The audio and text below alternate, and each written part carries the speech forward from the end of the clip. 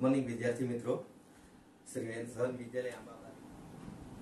આજે ધોરણ નવ, વિજ્ઞાનની અંદર આપણે આઠમું પ્રકરણ ગતિનો અભ્યાસ કરીએ. મિત્રો, આજનો ટોપિક છે વેગમાં ફેરફારનો દર. તો વેગમાં ફેરફારનો દર, તો વેગ એટલે શું એ તમે અગાઉ જોઈ ગયા છો. બરાબર? વેગ માટે આપણે વી સંકેત લીધેલું હતું. અને એનો એસઆઈ એકમ મીટર પ્રતિ સેકન્ડ અથવા અથવા તો આ પ્રમાણે પણ એને લખી શકેલા આપણે જોયું છે. બરાબર? તો વેગમાં ફેરફારનો દર એટલે શું? મિત્રો, એક ઉદાહરણ આપણે જોઈએ ટ્રેનનું. કે બે સ્ટેશન વચ્ચે ટ્રેન એક સ્ટેશન પરથી ઉપડે છે અને બીજી, બીજા સ્ટેશન ઉપર ઊભી રહે છે. મિત્રો, ટ્રેનની દિશા સુરેખ છે. બરાબર? જ્યારે સ્ટેશન પર ટ્રેન ઉભેલી હોય, તો ત્યારે એનો વેગ કેટલો હોય છે? શૂન્ય. બરાબર? ત્યારબાદ સ્ટેશન પરથી ઉપડે ત્યારે દર સેકન્ડે એના વેગમાં વધારો થાય છે. માની લઈએ કે અમુક સમય સુધી એનો વેગ એક ધારો રહે છે. અને જેવું ફરી પાછું બીજું સ્ટેશન આવે, તો ત્યારે એનો વેગ ધીમે ધીમે ઘટે છે અને છેવટે શૂન્ય થઈ જાય છે અને ટ્રેન ઊભી રહે છે. મિત્રો, અહીંયા નિયમિત ગતિ અને અનિયમિત ગતિ, કે જે તમે અગાઉ જોઈ ગયા છે, એ બંને વસ્તુ આવી જાય છે. બરાબર? તો, વેગમાં ફેરફારનો દર. બરાબર? તો આપણે જોઈએ કે કોઈ પદાર્થ છે, એ સુરેખ પથ ઉપર, જો એક સરખા સમયગાળામાં, જો એનો નિયમિત દરથી એ ગતિ કરતો હોય, તો એનો વેગ કેવો હોય છે? અચળ. માની લઈએ કે દર પાંચ મિનિટે એ પાંચ કિલોમીટર અંતર કાપે છે એવું ઘણા સમય સુધી ચાલે છે. તો આવા એક સરખા સમયગાળામાં એક સરખું અંતર કપાતું હોય, તો એને આપણે નિયમિત ગતિ તરીકે ઓળખીએ છીએ. તો આ નિયમિત ગતિના ચોક્કસ સમયગાળાનો ફેરફારની વાત કરીએ તો તે અચળ અથવા તો શૂન્ય થઈ જાય છે. એક સરખો વધારો થાય છે એક સરખા સમયગાળામાં, એટલે એનો ફેરફારનો દર કેવો થાય છે? શૂન્ય. બીજી બાજુ, અનિયમિત ગતિ. ટ્રેન સ્ટેશન પરથી ઉપડે છે, ધીમે ધીમે સતત વેગમાં વધારો થાય છે. વચ્ચેના સમયગાળામાં એક સરખો વધારો થાય છે, જેને આપણે નિયમિત નામ આપ્યું.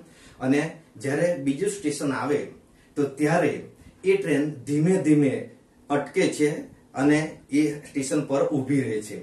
તો શરૂઆતની જે ગતિ છે અને છેવટની જે ગતિ છે, એ કઈ ગતિનું ઉદાહરણ કહેવાશે? અનિયમિત ગતિનું. તો અનિયમિત ગતિમાં સમયના એક સરખા ફેરફારમાં એનો જે વેગ છે એ એક સરખો જળવાતો નથી. તો મિત્રો, વેગમાં ફેરફારના દરને આપણે એ એક નવી રાશિ દ્વારા એને આપણે જોઈએ અને એ રાશિનું નામ છે પ્રવેગ. તો પ્રવેગ એટલે શું? એકમ સમયમાં વેગમાં થતો ફેરફાર. બરાબર? પ્રવેગ એટલે એકમ સમયમાં વેગમાં થતા ફેરફારને તે પદાર્થનો પ્રવેગ કહેવાય. મિત્રો, ફરીથી એકમ સમયમાં વેગમાં થતો ફેરફાર અને એ ફેરફારને એ પદાર્થ માટે શું કહેવાનું છે? પ્રવેગ. પ્રવેગ માટે ગુજરાતી સૂત્ર આપણે જોઈએ તો, મિત્રો, સૂત્રો ખૂબ અગત્યનું છે. તો પ્રવેગ માટે ગુજરાતી સૂત્ર જોઈએ તો અહીંયા આપણે લખેલું છે કે વેગમાં થતો ફેરફાર. બરાબર? તો ઉપર લખીશું, વેગમાં થતો ફેરફાર. અને છેદમાં તે માટે એકમ સમયમાં શબ્દ લખેલો છે. એટલે કે તે માટે લાગતો સમય.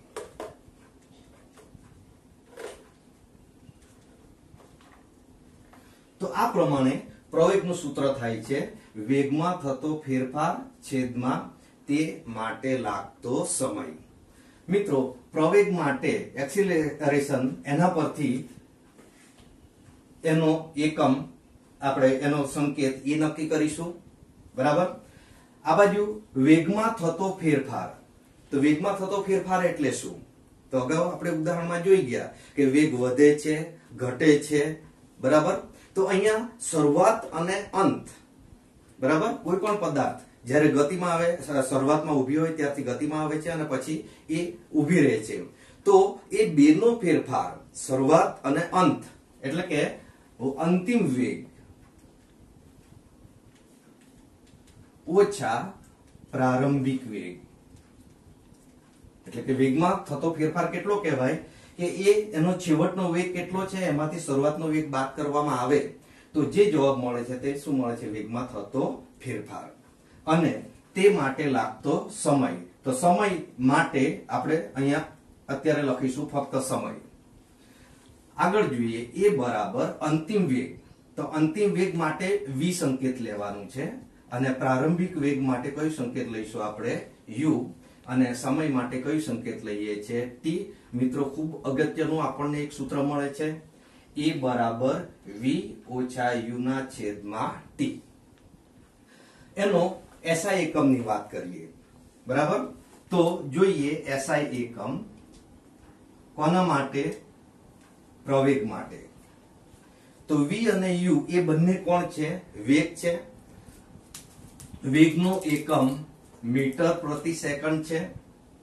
છેદમાં ટી સમયનો એકમ પણ કયો? એસઆઈ એકમ છે સેકન્ડ. આગળ જોઈએ. એને અંગ્રેજીમાં લખીએ તો મીટર પ્રતિ સેકન્ડ અને છેદમાં સેકન્ડ. આ એસ નીચે આવે છે. એટલે કે એમ છેદમાં એસ ગુણ્યા એસ એટલે કે એમના છેદમાં એસ નો વર્ગ. અથવા તો એને બીજી રીતે લખીએ તો, આ એસ નો બે ઘાત ક્યાં છે? છેદમાં છે. એને અંશમાં લઈ જઈએ તો એસ નો માઇનસ કેટલો ઘાત કહેવાશે? માઇનસ બે ઘાત. તો આ પ્રમાણે પ્રવેગનો એકમ મીટર પ્રતિ સેકન્ડનો શું થાય છે? વર્ગ. તો આ પ્રમાણે પ્રવેગ શું છે એની આપણે સમજૂતી લીધી. મિત્રો, આપણે એક બીજા ઉદાહરણથી એને વધુ સમજવાનો પ્રયત્ન કરીએ.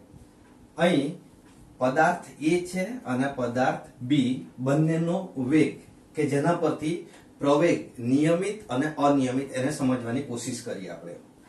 માનો કે કોઈ પદાર્થ એ છે એ જીરો સેકન્ડે.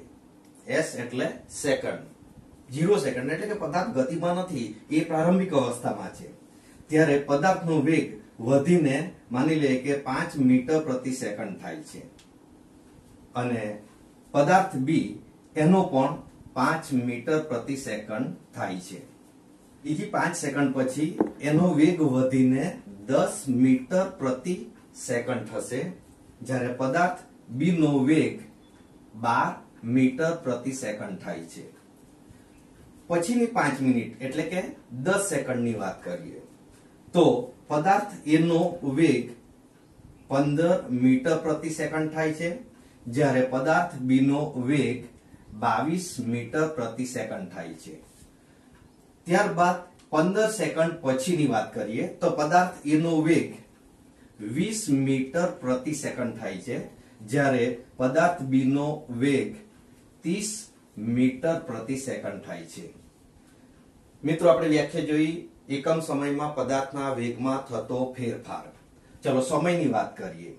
તો અહીંથી અહીં સુધીનો સમયનો ફેરફાર કેટલો સમય છે? પાંચ સેકન્ડ. પાંચથી દસમાં પણ તફાવત તમને મળે છે. પાંચ સેકન્ડ જ મળે છે.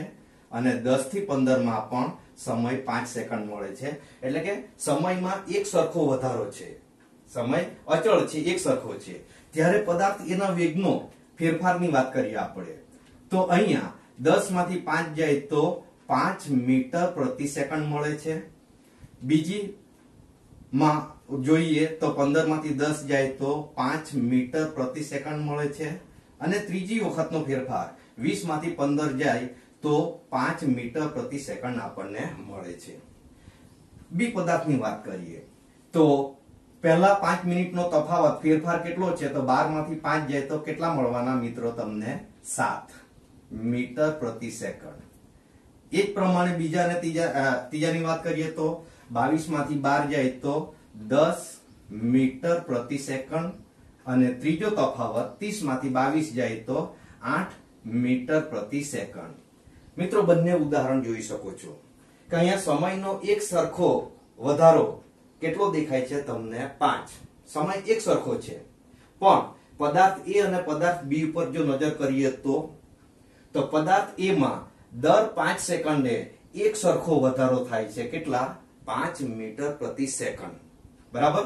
તો જોઈને જ અહીંયા તમને કદાચ ખ્યાલ આવી ગયો હોવો જોઈએ કે આ જે ગતિ છે, એ કઈ ગતિ કહેવાશે?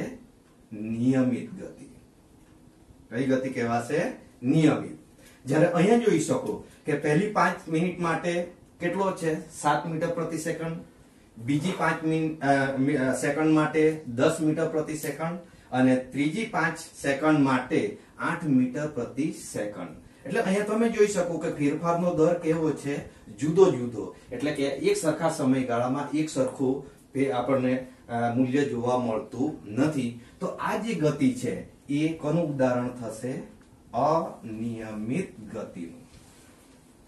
તો આ પ્રમાણે નિયમિત ગતિ સમયનો એક સરખા માં એક સરખો જો એનો વેગ જળવાઈ રહેતો હોય, તો એવી ગતિને નિયમિત ગતિ કહેવાય. જ્યારે એક સરખા સમયગાળામાં જો એનો વેગ એક સરખો મળતો ન હોય, તો એવી ગતિને શું નામ આપીશું આપણે? અનિયમિત ગતિ તરીકે ઓળખવામાં આવે છે. મિત્રો, પ્રવેગના મુખ્ય બે પ્રકારો જોઈએ આપણે.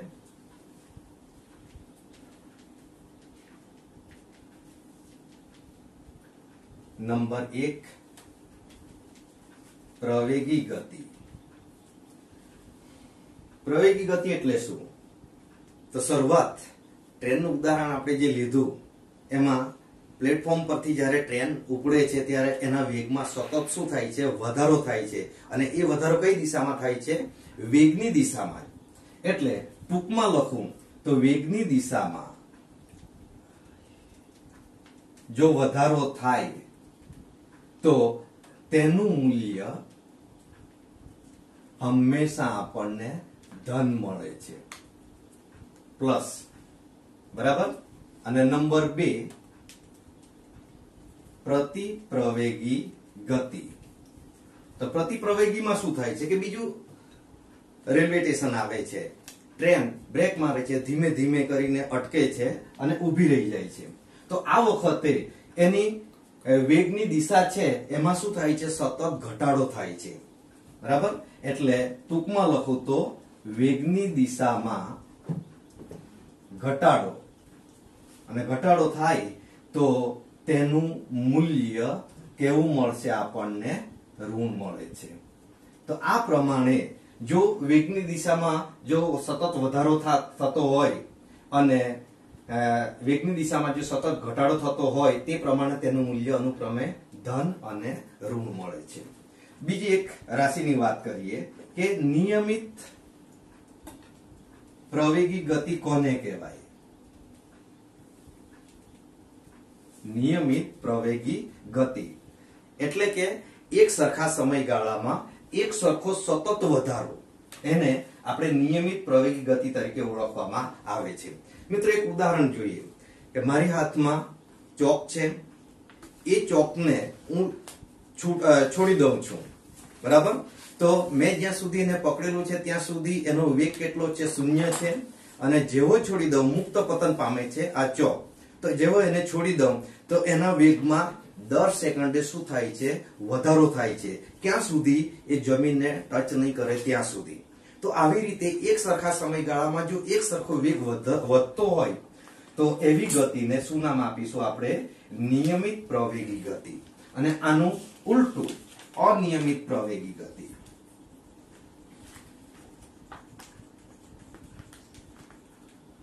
એનું બીજું ઉદાહરણ લઈએ. માનો કે આપણા હાથમાં દડો છે. દડાને આપણે હાથમાં લઈએ અને આપણી શક્તિ મુજબ ઉપર ફેંકીએ. તો જેમ જેમ દડો ઉપર જશે, તેમ તેમ એના વેગમાં શું થતો જવાનો? ઘટાડો થતો જવાનો. બરાબર? તો અહીંયા વેગમાં ઘટાડો થાય છે, એને આપણે અનિયમિત પ્રવેગી ગતિ તરીકે ઓળખી શકીશું. એ ચોક્કસ ઊંચાઈ પ્રાપ્ત કરશે અને ચોક્કસ ઊંચાઈ પર પાછો સ્થિર થશે અને ફરી પાછી એ જમીન તરફ આવવા પ્રયત્ન કરશે ગુરુત્વાકર્ષણ બળને કારણે. તો તે પાછું કોનું ઉદાહરણ થશે? નિયમિત પ્રવેગી ગતિનું. તો આ પ્રમાણે પ્રવેગની વ્યાખ્યા, પ્રવેગનો એકમ પ્રવેગી ગતિ પ્રતિ પ્રવેગી ગતિ, નિયમિત પ્રવેગી ગતિ કોને કહેવાય? એના વિશે આપણે જોયું. હવે એક ઉદાહરણથી આપણે એને સમજવાનો પ્રયત્ન કરીએ.